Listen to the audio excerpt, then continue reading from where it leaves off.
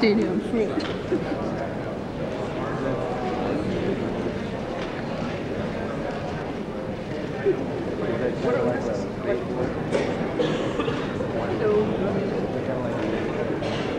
Years and years of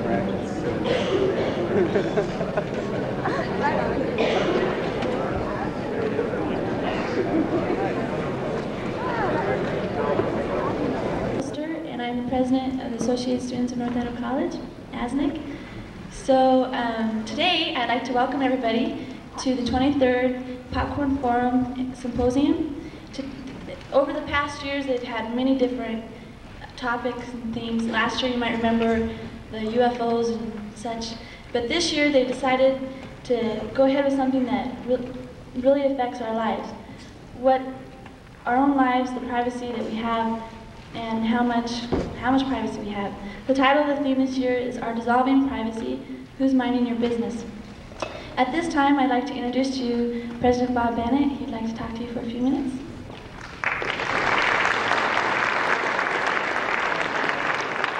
Good morning. Well, if you saw the paper this morning, you know we had good publicity with respect to this program, so I'm hoping as the week goes on that the crowd will continue to swell and hopefully by the uh, last day we'll have this auditorium completely packed. This is a program that I'm very proud of. It's a program that, that I think gives another dimension to what we are about as a college because it takes you beyond the classroom and gives you an opportunity to hear outstanding people from all parts of the country. As Mo told you, we've had an outstanding series for the past 23 years, and this year I think, maybe this is the second year now, uh, Convocations and Popcorn Forum have uh, blended their forces and their dollars to bring in what I think is going to be an outstanding week of programs. I am so convinced that this must be a part of all of your college education because uh, it's important, of course, to be in the classroom and to hear what your, your professors and your instructors are telling you, but there's another dimension to education that goes beyond what happens in this college or in this community or in this state. And that is something that affects all of us as citizens of this United States.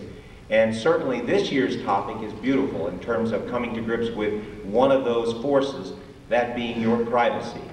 I think you're going to enjoy this series, and I hope those of you who are here this morning will try very hard to come back to the uh, meeting this afternoon where there will be a panel reacting to the speaker's comments today, and then make sure you come back for the rest of the week because this thing should continue to grow, and I think the more you get into it, the better you'll like it. I'm really happy you're here this morning. Tell your friends uh, to come. Tell the people in the community to come because it's open, it's free, and a great deal of work has been uh, given uh, to make this a success. So uh, with that, I will say one more time, thank you for coming. I hope you'll enjoy this morning's program.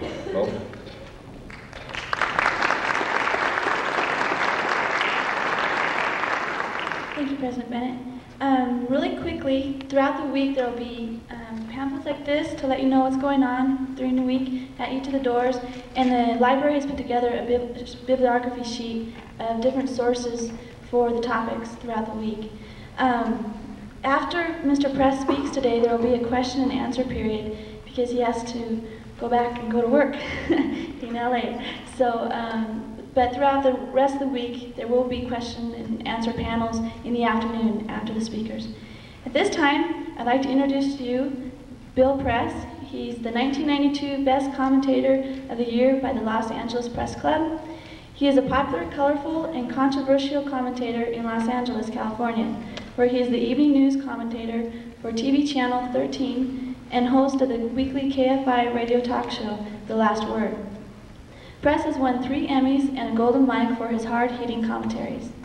Press is a member of the Los Angeles chapter of the Southern Christian Leadership Conference Board of Directors. He's a graduate of the University of Niagara in New York and the University of Freiburg in Switzerland. And he's going to be speaking on the right to privacy and overview today. Please join me in welcoming him.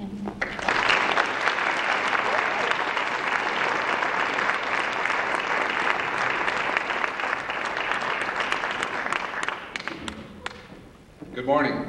Maureen, thank you for that kind introduction. Thank you for the warm welcome. I just want to echo the words of uh, your president, Bob Bennett, when he mentioned the importance of forums like this. I think the most important thing I learned in college was what a friend of mine taught me once I arrived on campus. He said, what I learned here, I want you to know. Don't let your studies interfere with your education. Well, I really want to thank you for inviting me to this spectacular setting. First time I've been in Coeur and uh, also thank you for the opportunity to participate in this uh, exciting conference. I must admit I've done a lot of exciting things in my life. I've walked across the Ukraine from uh, Odessa to Kiev. I uh, have testified in front of Congress on many different occasions. I uh, greeted the president at one time when he walked off the steps of Air Force One, and last week I actually had lunch in the White House mess. But no honor that I've ever achieved so far compares with the honor of speaking at a popcorn forum. And I was thinking about it, and I guess it is a good analogy for ideas because you take little seeds of knowledge and you apply some heat, and you get ideas that are free, that are filling, and that are not fattening. So, when Tony Stewart came up with that word popcorn forum, I think he knew what he was doing. Well, I do have to admit to you, however, that I'm a little nervous being this far from Los Angeles. You know, after living 12 years in Los Angeles, I don't trust clean air anymore. I, uh, I don't trust, I only trust air that I can see, that I can taste, and I can chew. My lungs are suffering here. But I'm also pleased to come this far from Los Angeles, and with your busy campus life and other things going on in the community, I'm, I'm very pleased to see so many of you here this morning to talk about this important topic. Seeing you reminds me of one of my favorite stories about one of my favorite Americans, and yours, I imagine, former Justice of the Supreme Court, William O. Douglas, who grew up not so far from here in what was then uh, the small country town of Spokane, and some of you may have read Justice Douglas's first volume of his memoirs called Go East, Young Man. Frankly, I wish more people had taken his advice and gone east. but um, he tells the story there of growing up in Spokane. His father was a minister. And around Spokane, as I guess there are today, there were many ranchers who couldn't always get down into the village for Sunday services. And so Billy Douglas's father, Reverend Douglas, started a series of little chapels up in the hills where he could conduct services for the ranchers uh, who, who were not able to get down to Sunday services. And Billy Douglas tells a story about one time, must be true because he tells it in his book, he went with his father to the opening ceremony, or the opening service in one of these little chapels, and the hour for the service arrived, and there was one cowboy sitting in the front row. And Reverend Douglas walked up the aisle and he turned around and said, would the congregation please stand for the opening hymn? And he did. And they sang the opening hymn, and Reverend Douglas said, Would the congregation please be seated? And he did. And he said, We will now preach the word of the Lord. And Reverend Douglas preached, and he preached, and he preached, and he preached. And an hour later, the word of the Lord was finished. Reverend Douglas said, Would the congregation please stand for the closing hymn? And he did. And they sang the closing hymn, and then, as they always do, the Reverend rushed outside so he could greet the congregation as the congregation left the chapel. And he shook the cowboy's hand and he said, Yes, my friend, so what did you think of the service? And this cowboy paused and he looked up into the night sky and he said, Well, I'll tell you. I ain't a preacher, I'm a cowboy. But if I had a herd of horses and I loaded my wagon with hay and I went out to feed my herd of horses and I only found one horse, I don't think I'd give him the whole load of hay.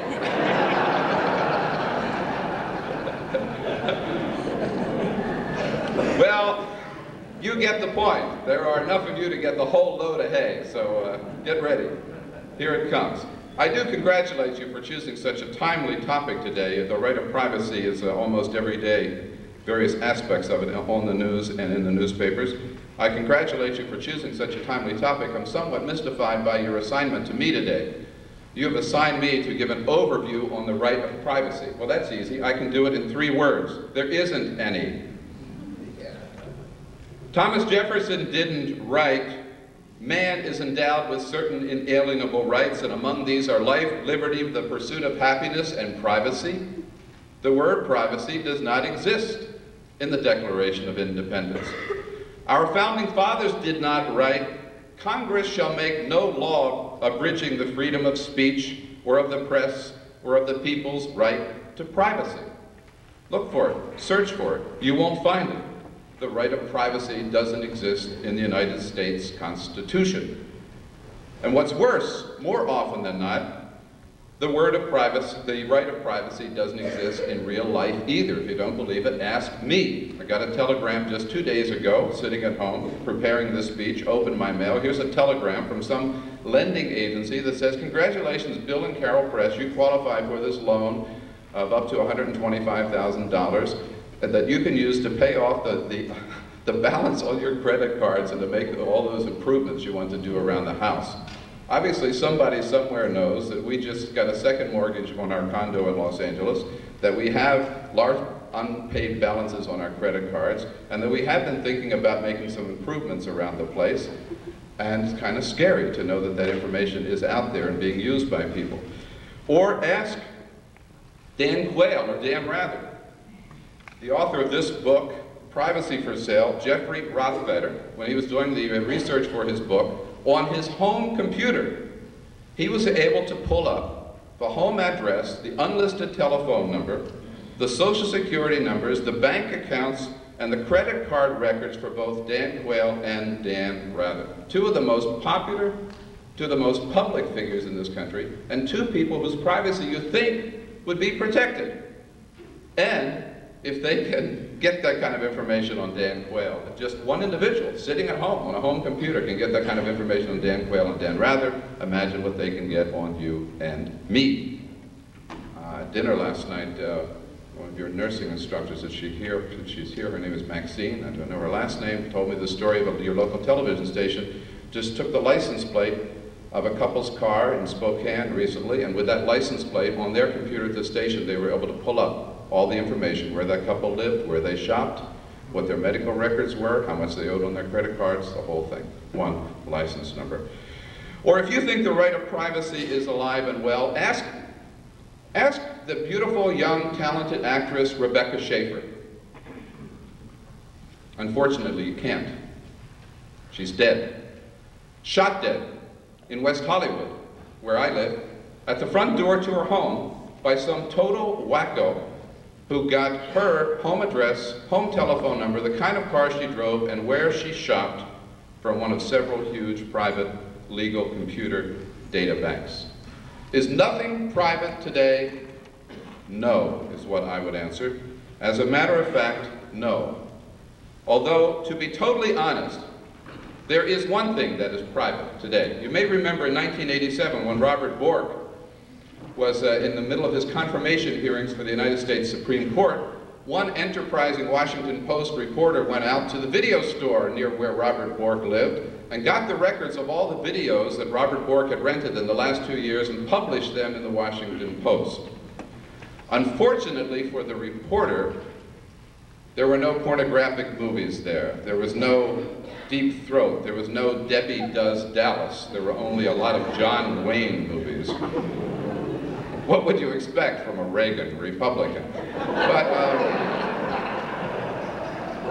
but fortunately for us, the members of Congress were either so outraged or so threatened by that invasion of his privacy that they passed in 1988 the Video Privacy Protection Act. So I urge you this morning, if you really want to celebrate this wonderful right of privacy we have, the best way and the only way you could do it is to go out tonight, go to your video store, and rent an X-rated movie and enjoy it. Don't enjoy the X-rated movie so much as enjoy the only act that you can exercise as a private citizen and have that act totally protected in this country today. Somehow I don't think that is what our founding fathers had in mind. And I don't know about you, I am comforted by knowing that I can watch a pornographic movie, that my X-rated movies are protected, I would be more, feel more comfortable if my bank account were protected. Well, despite these horror stories, or maybe because of them, you and I still haven't given up. on our right of privacy. It is the least we expect of government, isn't it? I think it is the one issue on which liberals and conservatives can agree. We expect, we seek, we demand from government the right of privacy, which is nothing other than the right to be let alone. Big government. Keep it out of our homes, our offices, our bedrooms, and our bodies. The right to be left alone. Or big corporations, telephone companies, direct mail houses, banks, credit agencies. Keep big business out of our homes, out of our offices, out of our bedrooms, and out of our bodies. The right to be let alone. That's what it is. No wonder that Justice Louis Brandeis, in uh, this is the most famous case, of course, regarding privacy. It was a phone wiretapping case, 1928, Olmstead versus the United States, when the right of privacy was first affirmed by the United States Supreme Court. Justice Louis Brandeis, writing for the minority, I might add, at that time, called the right of privacy the right to be let alone. The most, here's what he said, the most comprehensive of rights. Is what the right of privacy is. The most comprehensive of rights and the right most valued by civilized men and women, we would add today. The right of privacy, the most comprehensive of rights and the right most valued by civilized men and women. To protect that right, Brandeis concluded, every unjustifiable intrusion by the government upon the privacy of the individual, whatever the means employed, must be deemed a violation of the Fourth Amendment. Now, we might ask that if it is so obvious, if the desire for privacy is so legitimate, why isn't it mentioned in the United States Constitution? I don't know. I assume it's because it is so obvious and it is so legitimate and was considered so obvious by our founding fathers that they didn't feel it necessary to enumerate it. But that's not our job today. We'll leave that task up to the constitutional and historical scholars. Our task today is to put, this, to put the stethoscope to, to test the pulse of privacy today. And when we do so, what we find is shocking, scary even. For what we discover is that for something so sacred, for something so universally revered and demanded, the right of privacy is in critical condition today, friends. It may even be on life support systems. There are three points about privacy that I'd like you to carry out of here today. Three points I'd like to make. First is that the right of privacy touches more aspects of our daily lives than any of the other rights that are mentioned in the Constitution. The second point is that the right of privacy is more threatened today than ever before by unwarranted government intrusion and surveillance, by unwarranted government control over private decisions we make and private acts that we perform, and especially by the rapid advance of invasive, unregulated, and ever-probing computer technology.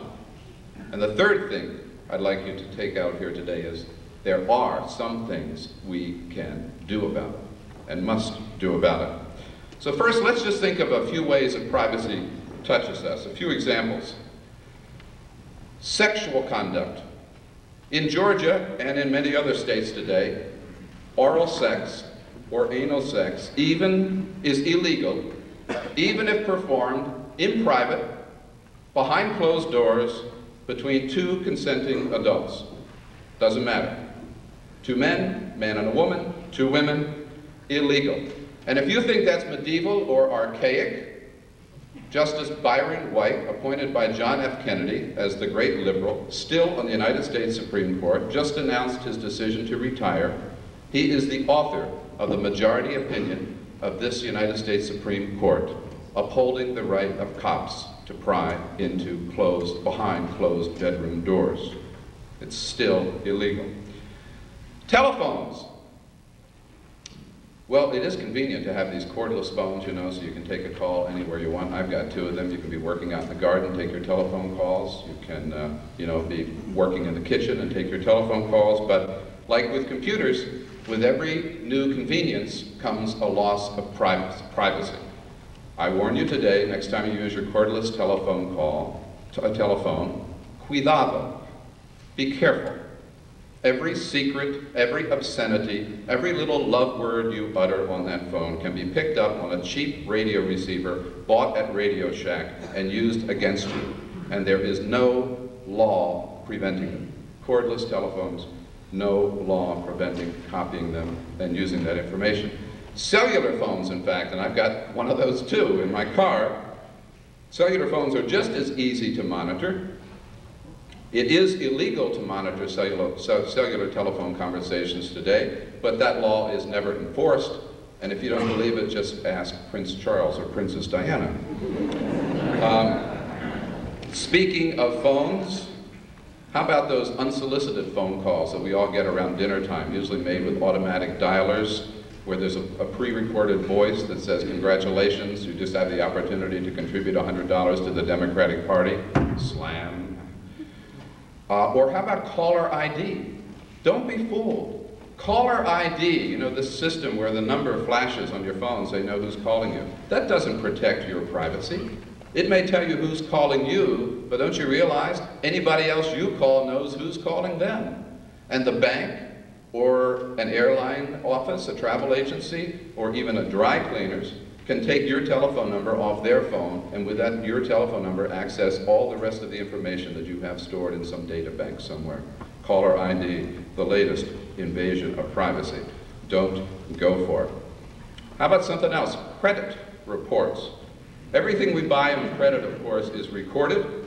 That information is sold, and here they come. Here come the catalogs. Here come the junk mail. Uh, speaking of buying, as we speak, the latest plan is, you know those supermarket scanners, the ones that go beep every time they take a product across it? You know, those new inventions that George Bush never heard about, even though they've been around for 14 years? Well, the latest plan is for the supermarkets to record all of that information, to get people to buy with these discount credit cards. Uh, we have that in Los Angeles at Pavilion where we shop and to record all of that information and to sell all of that information, of course, to retailers so that every little item you buy, every item you carry home in your grocery store uh, can, you know, can be used to get back at you. I mean, you can get the letter saying, Dear Mrs. Jones, you, you, have, you must have a, a hungry family because we see you buy a lot of frozen pizzas. You know, how about trying our frozen enchiladas? And gee, by the way, we see you and your husband practice safe sex. Well, we've got a special on condoms this month, too. uh, it's on its way. It's on its way. Now, the scariest of all for me are medical reports. You see your doctor, you buy a prescription, you get tested for AIDS.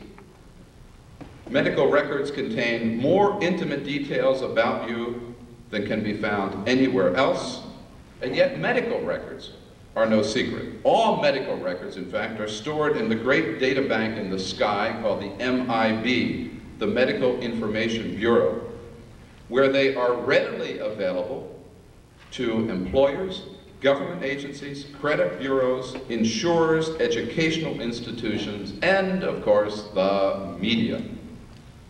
And here is the real danger, I think, today about privacy, folks. It is not so much the junk mail that we see. It is not so much the junk phone calls that we receive.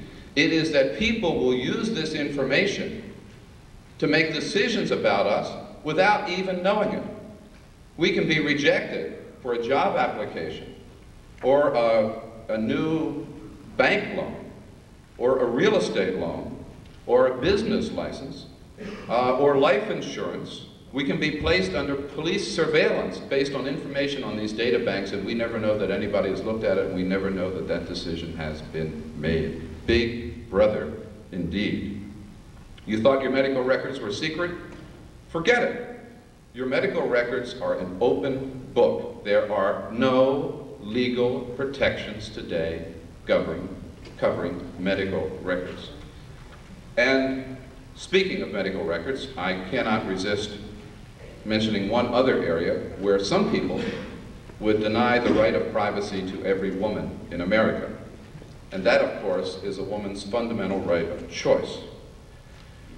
Regardless of whether you are pro-choice or anti-abortion, I believe that for the government, or a judge, or a legislature, or a Supreme Court to tell a woman that she cannot have an abortion, that regardless of whether she's been raped or a victim of incest, incest that she has no other choice but to bear to full term the seed of an infant just planted in her womb. I believe that is the textbook case of government invading and controlling a person's body.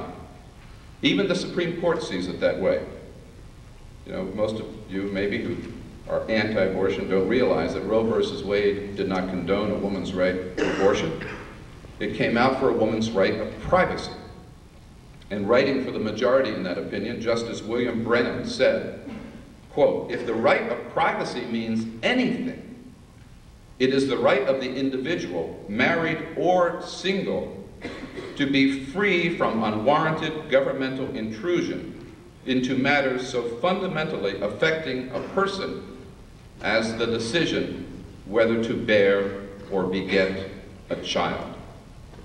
So you see, in its core, the right to choose is not a matter of right to life, it's a matter of an affirmation of the right to privacy.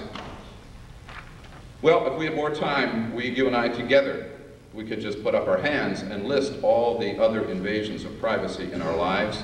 Mandatory drug testing at the workplace. Here's something new in California, having to give your social security number when you go to the DMV to get your license renewed or to register your car. You know what they can do with social security numbers.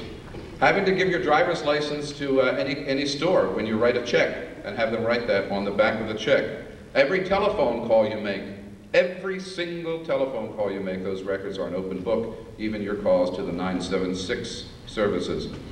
Buying a house, buying renting an apartment, every time you fill out any kind of form with all that information, which we just, we just automatically do. They ask for all this information on his birth date, social security number, license. We all write it down, we hand it in. We don't realize where it's going.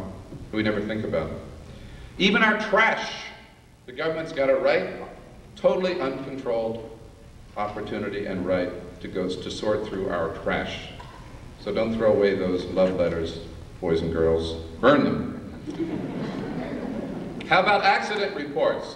I read in the paper just last week in the state of Nevada, the legislature was considering a bill that would have restricted access to traffic accident reports.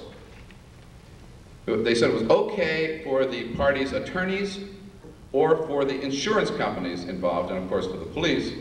But th those reports should not be accessible, this is what the bill said, should not be accessible to other lawyers or other doctors or chiropractors or body shops who were looking for a quick bit of business.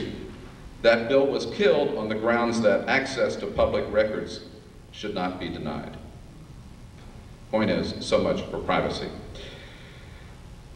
Now, for a right so fundamental that touches on so many aspects of our daily lives, the right of privacy, of course, is fiercely protected. Right? Wrong. The right of privacy is in trouble. Our right of privacy is so often, so widely, so freely ignored, abused, or trashed, it's in danger of disappearing altogether.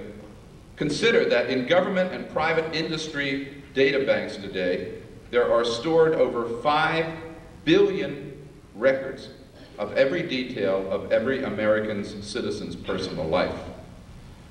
Somebody figured that out who's faster than me. It's something like 12 or 15 records per American. Consider that information about each of us is moved from one computer to another in this country five times a day on the average without our permission or knowledge. Consider that every bit of stored knowledge about us is instantly available from original sources or from middle buyers, middlemen.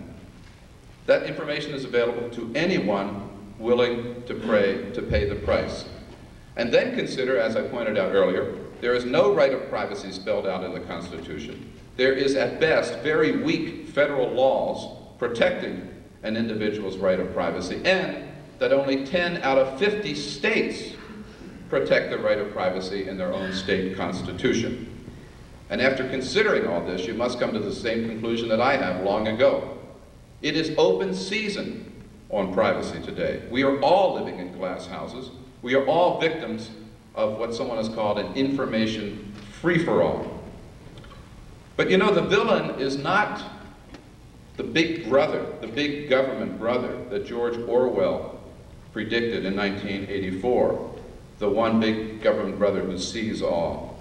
The villain instead is a proliferation of computer data banks. It's big brother plus all these little brothers that collect, store, and sell information on everything we are and everything we do, from buying a box of diapers to making a telephone call. We are all victims of computer technology that is run amok and out of control. And I believe that unless we act now aggressively to defend our right of privacy, computers are going to make privacy as quaint and as obsolete as the automobile, automobile made the horse and buggy. Unless we stand up and fight for our right of privacy in this age of see all, know all, tell all computers, you know, people are someday going to sit around and wistfully talk about privacy the way some people today sit around and wistfully talk about the quilting bee or barn raisings. As Republicans and as Democrats, as liberals and as conservatives, as Americans all, I don't think we can let this happen. I don't think we can let this happen. We cannot abide this invasion of one of our most basic and most cherished freedoms. In fact, the freedom most valued by civilized men and women. Now, at this point, I would be remiss if I did not, as a television journalist, fess up to something. There's another villain in this piece. The bad guys are not just big government and big computer. The other villain in this piece is the media. The media that cannot resist probing and prying and poking into every aspect of everybody's life. And that takes many, many forms. One of the most odious to me is the local reporter who will run up to the distraught mother and say, and stick the microphone in her face and say, how does it feel? How does it feel that your daughter was just flattened by a big rig on the highway in front of your house? How does it feel? Every time I see that, I see it all the time, it makes me so angry. That is a gross invasion of privacy. It also takes other forms. What about the national reporters, the so-called leaders in the news business, who turned themselves last year into tabloid journalism? CBS and NBC and ABC and the New York Times and the Washington Post, all the so-called paragons of the media who couldn't resist following the lead of the Star and the Inquirer in putting Gennifer Flowers on the front page. Pardon me, but I believe it is Bill Clinton's performance in office that counts, not Bill Clinton's performance in bed. But the media preaches privacy and demands privacy for itself the media refuses to reveal any of its own sources, rightfully so, and yet when it comes to exposing anything about anybody else, the media knows no bounds. Um, so I think we have to remember and insist that the media has no more right to pry than the government. In fact, the media has less right to pry than the government, and we're not doing our job unless we hold the media responsible for its invasions of our privacy as well. Well, at uh, this point, I've talked a little longer than I intended. I, I saw the other day, I don't feel too badly about that, however, because I saw the other day at, at USC, there was a new study that was conducted, probably with federal dollars, about the uh, effect on an audience when a speaker drones on for more than 20 minutes. And this study showed that when that happens, a speaker speaks for more than 20 minutes, one third of the audience falls asleep. One third of the audience just starts daydreaming, and one third of the audience uh, starts exercising the wildest sexual fantasies. so I don't feel too badly because I've given so many of you so much pleasure. For, for so long. Um, but I, I, can't stop without going on to our, the third point is, uh, briefly at least, what can we do about all of this? Is there anything we can do about all of this? Well, that's the joy of being a keynote speaker, you see, because all I do, all I get to do is reveal the problem and lay out the problem, and then I walk away and leave it up to you and the speakers that follow over the next three days to solve the problem. But I'm not going to leave you totally in, in the lurch. I can't leave without offering at least a few ideas. In fact, I've got five of them, proposals for action. The first and the most basic is we have to recognize both the importance of our privacy and the increasing danger of the loss of our privacy. That's, that's the beginning point. It's that awareness. And thanks to uh, this forum, uh, I hope at the end of this, that this conference will at least accomplish that wake you up to every one of these modern conveniences and the danger to our personal privacy. The second point is that coming out of this conference, I believe, we've got to be ready to fight for our privacy and to fight to protect the privacy of every other American. And that may mean, and I think it will mean, being willing to pay the price, being willing to sacrifice, being willing to give up some of these new modern conveniences like caller ID if necessary in order to protect our privacy.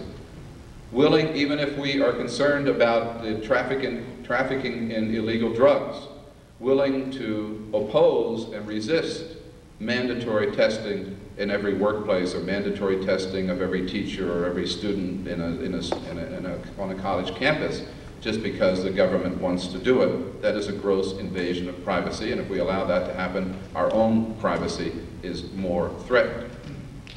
So we have to be willing to fight to protect our privacy, I believe.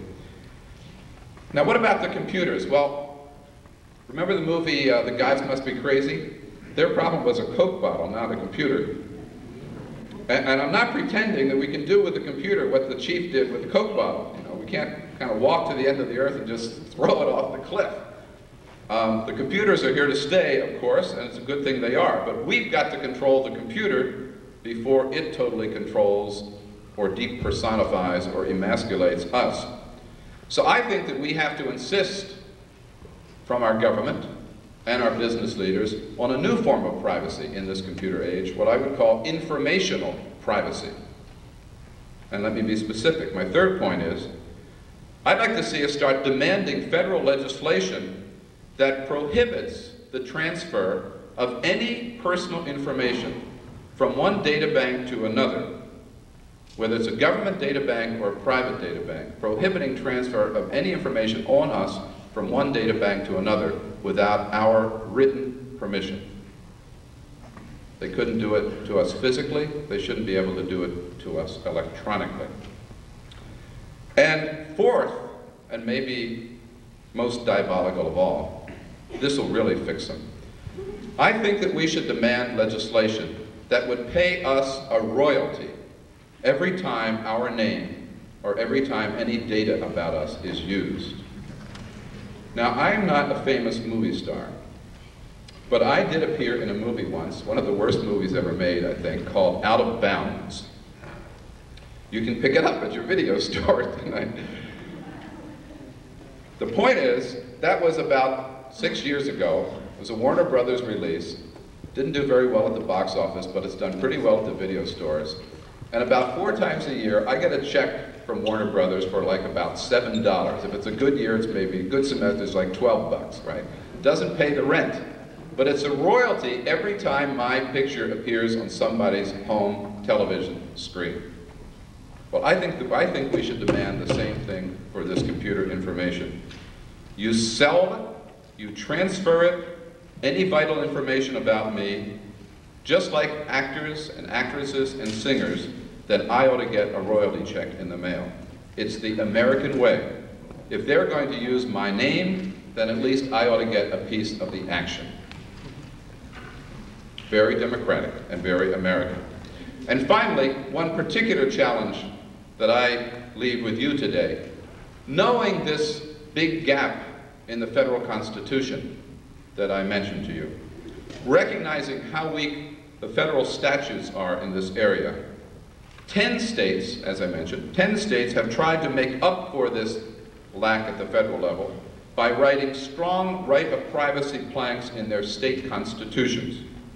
The state of California, for example, includes a strong right of privacy clause. So does the state of Montana. So does the state of Washington. The state of Idaho does not.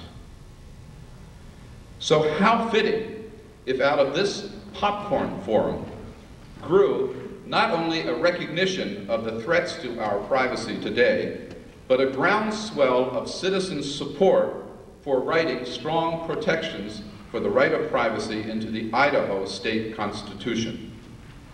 That's my challenge to you today. You could write the language this week. You could write it this morning. And think how exciting it would be if one or two years from now, either by legislation or initiative, your Idaho state constitution were amended with specific language to affirm and defend the right of privacy. And people could say, hey, I remember. It started right there. It started at NIC. It started at the 23rd Annual Popcorn Forum the week of March 29, 1993. Now, wouldn't that make it all worthwhile? Thank you very much for listening.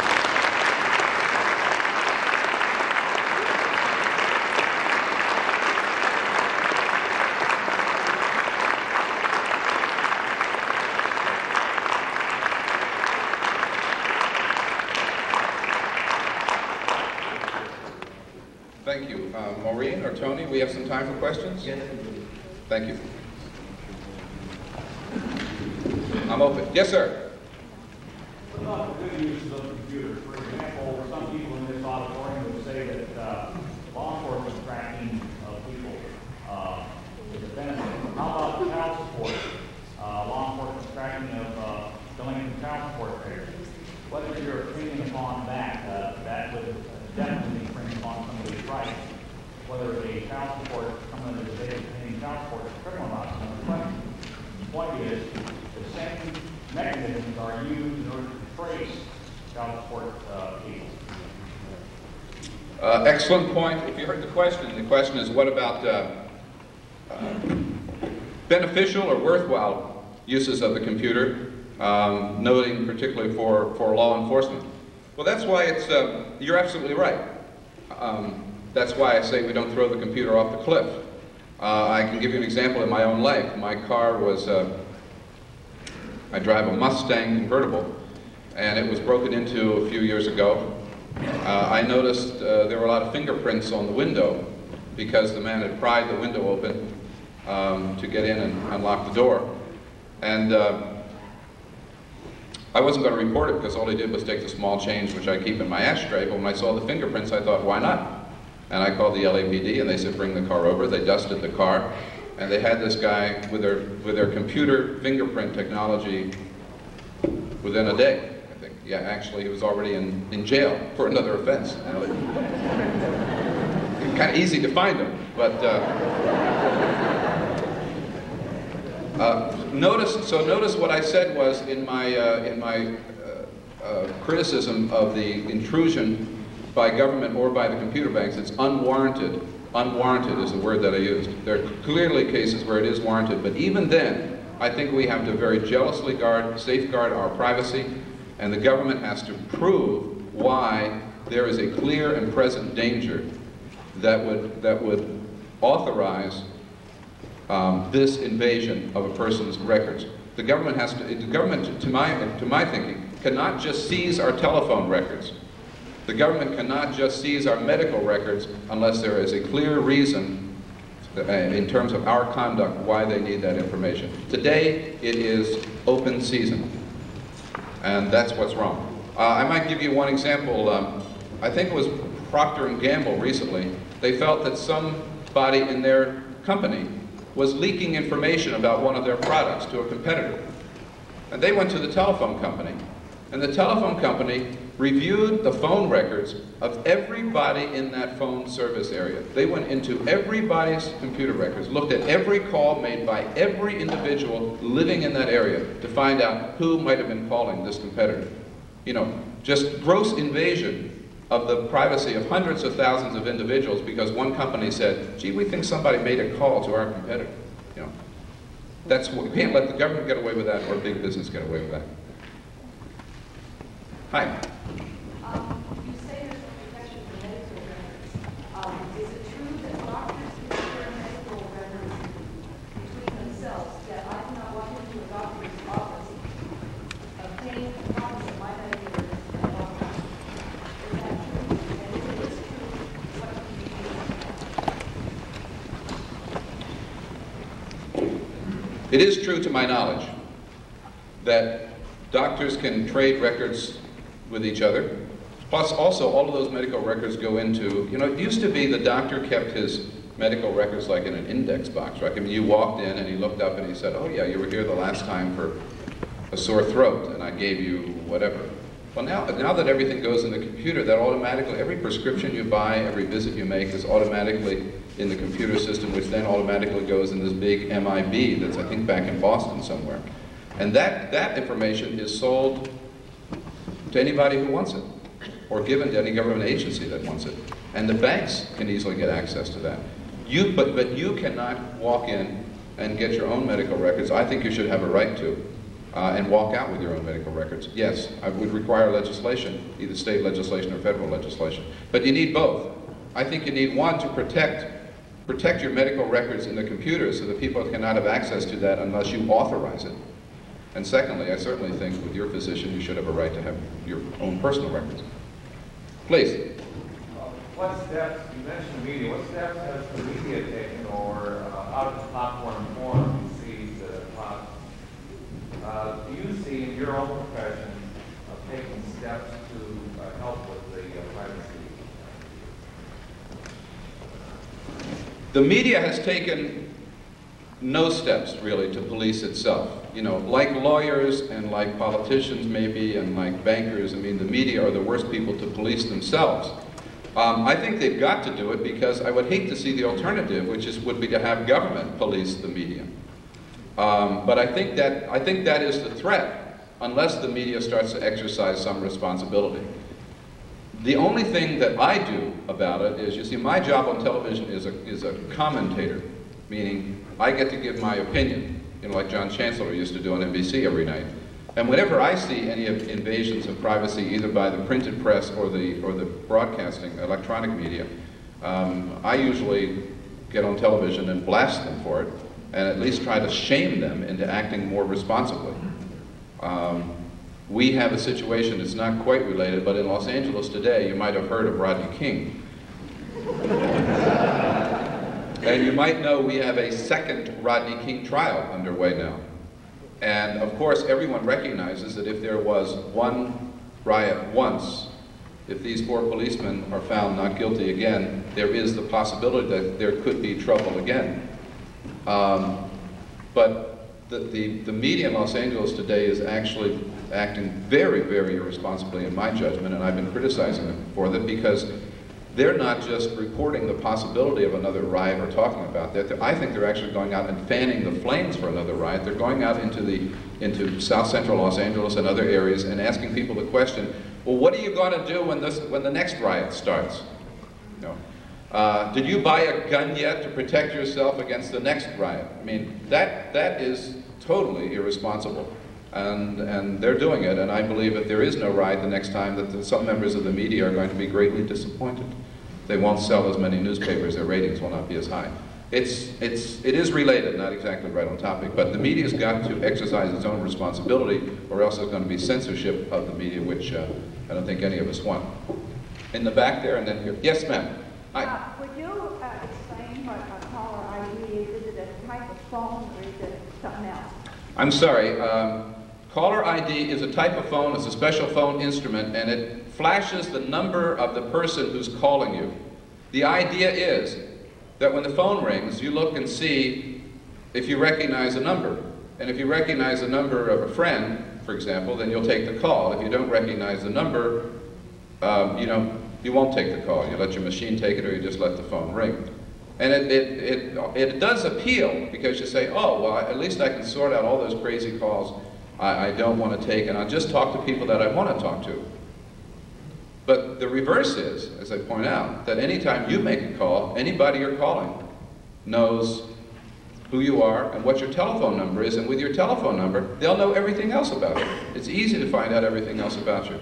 So you call a, a, travel agency to make an inquiry, they've got your number, they find out who you are, how much money you spend on travel, where you like to fly or whatever, and the next thing you know, you're getting pounded by, uh, uh, you know, hotels in Kauai who are offering you their seven-day best rate or something. I don't know. Um, but now, here's, here's what's happening with that. The phone company is saying, oh, okay, we'll let you cancel, on you, we'll let you put something on your phone so that you can cancel your number from being seen by somebody else. But of course, that will cost you extra. You see, it's the convenience that they'll provide, but it costs you extra for the privacy. Baloney. Baloney.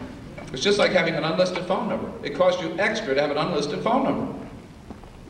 I know. Yes. Pardon me. So I, I, guess on that, if caller ID has not been foisted upon you by your local phone company, uh, then at least maybe you'll have a chance to stop it here. We're, we're trying to stop it in California and haven't always succeeded. Yes, ma'am.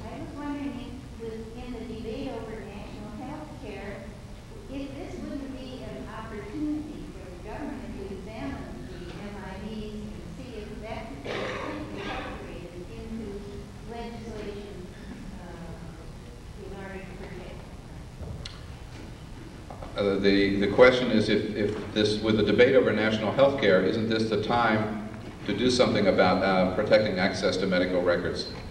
Uh, yes, and I'll tell Hillary the next time I talk to her.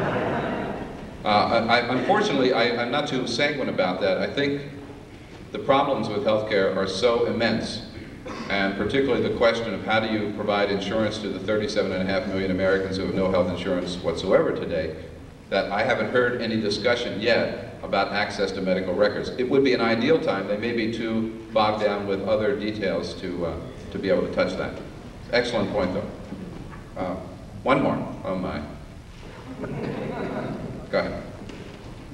earlier point about the media and their lack of responsibility, you're doing your part, but what other kinds of pressure can you place on them to change Excellent question. Let me tell you, you know, you may not think this, but the media is responsive to demands and to outrage and to calls from the general public. Uh, I can tell you that. I work both in radio and television. Um, and um, you, you have to understand, news, we're talking news now, right? I mean, news is a business like any other business. The people that are in it are in there to provide information, but they're basically in there to make money. And money means ratings. And ratings means people watching. And if there is enough citizen outrage about the violence that's on the show, un unnecessary violence, you know, blood and bodies all over the screen, um, they'll change it. Our station has. If there's enough um, outcry about obscenities or filth or um, you know nudity in the, in the screen, sometimes you see that in the news, they'll change it. And if there's enough outrage about invasions of persons' privacy, and that means your average citizen, plus, I believe, public figures, um, then the media, then the media will change it. It just takes people have just got to keep pounding on them, pounding on them. Call the television station. You know, I never did. I never thought about until I worked in television. Never thought about calling a television station and complaining. I have to tell you, it happens all the time. You know, you'll have a bad story, and the switchboard will light up. We just have to. There's Maxine. You just have to keep doing more of that more of that, more of that. And it does work. You will get a response. So it's important. You know, you can, you can do that by keeping, keeping your media honest and keeping them from sticking their noses into other people's business. Thank you very, very much. Thank you.